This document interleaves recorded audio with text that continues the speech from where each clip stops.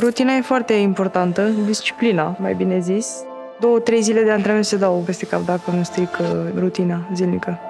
E foarte greu să-ți creezi o disciplină pe care să o ții ani la rând. Pentru că dacă vorbim de sport de performanță, aici vorbim de ani, nu de câteva luni. Trebuie să ai și un mental, să faci același lucru.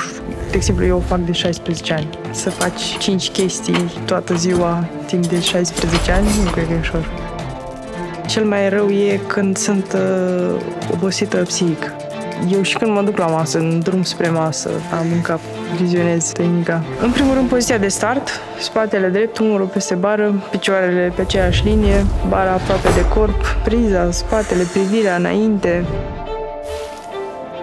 în momentul de față nu cred că am o parte a corpului care nu mă doare. Am avut competiții în care n-am fost pregătită fizic foarte bine, dar eram bine pe psihic și am făcut rezultate mai mare decât atunci când eram într-o formă fizică mai bună. Ai două minute pe platformă. Mă pregătesc pentru campionatul mondial 5 luni, pentru campionatul european 3 luni și un pic ca să stau două minute pe platformă. Și în alea două minute, dacă n-am reușit să dau tot ce am construit în pregătire, cam trist. Pe podium, după ce am reușit, simt bucurie, mândrie și ușurare. Durează foarte puțin până când mă întorc la Snagov și încep pregătirea pentru următorul campionat. Până acum am reușit să-mi realizez fiecare obiectiv pe care l-am propus, mai devreme sau mai târziu, dar am reușit.